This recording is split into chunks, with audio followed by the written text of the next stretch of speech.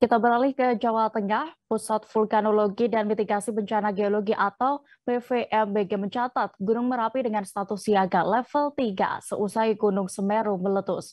Saat ini Gunung Merapi terus mengalami fase erupsi efusif dengan aktivitas berupa pertumbuhan kubah lava, guguran dan juga awan panas guguran.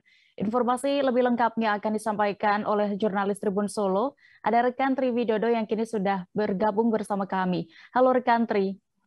Halo Dia dan Tribun Iya, silakan rekan Tri dengan laporan Anda bagaimana dengan kondisi Merapi saat ini? Apakah terpengaruh dengan erupsi Gunung Semeru di Jawa Timur?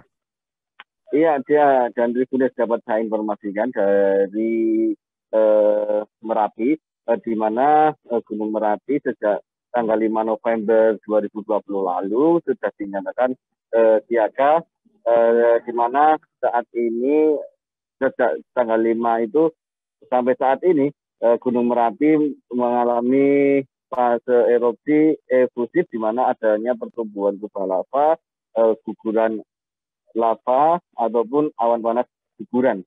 Eh, sedangkan eh, pasca erupsi Gunung Semeru kemarin pada hari Sabtu tanggal 4 eh, Desember kemarin eh, terjadi Merapi terjadi dua, sebanyak 26 kali eh, guguran lava pijar yang teramati oleh eh, BPT TKG Yogyakarta. Ya.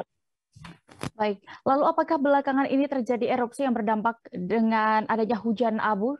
Iya, dia dapat informasi. Saya informasikan jika sejak tanggal 5 November 2020 lalu, eh, Gunung Merapi terus mengeluarkan eh, semacam awan panas guguran. Eh, belakangan ini eh, terjadi awan panas guguran yang cukup besar yang berakibat pada turunnya hujan abu di wilayah Boyolali yang merupakan eh, lereng timur dari puncak Gunung Merapi ini sendiri ya.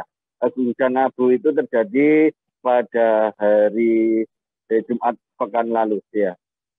Ya, terakhir rekan Tri bisa Anda informasikan terkait wilayah mana yang berpotensi terhadap ancaman erupsi Gunung Merapi?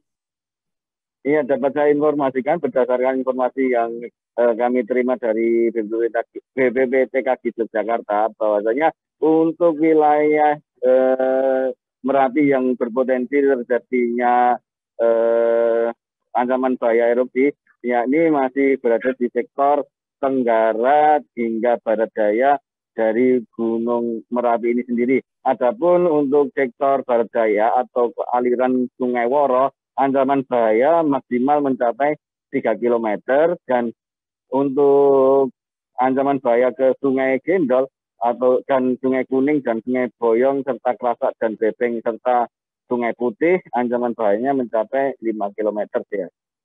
Baik, terima kasih rekan Triwidodo untuk laporan Anda terkait aktivitas Gunung Merapi. Selamat kembali bertugas. Terima kasih sudah nonton. Jangan lupa like, subscribe, dan share ya.